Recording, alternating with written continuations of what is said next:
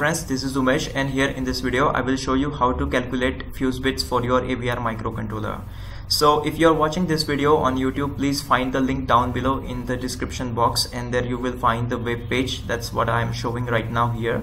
So first thing first, you have to choose the microcontroller that you will be using for your project and in this case we will be using ATmega32A microcontroller and then hit on select and once you choose select we will find this uh, fuse bits uh, has been shown here C0 and 99 so when ATmega32A chip has been shipped from Atmel the default fuse bit should be this one. So you have to choose the default value in this drop down menu.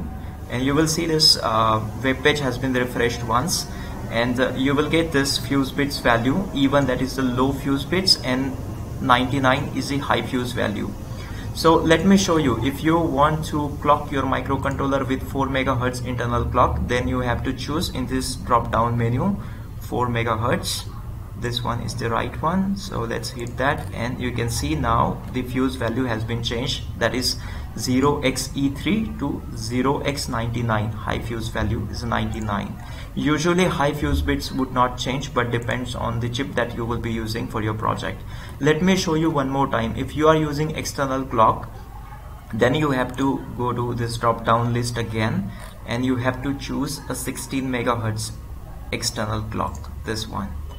And once you choose you see again it's refreshed and the value for low fuse bit has been changed to 0xff and the high fuse bit has been changed to 0x99 as I have already mentioned that high fuse bit would not change in this case.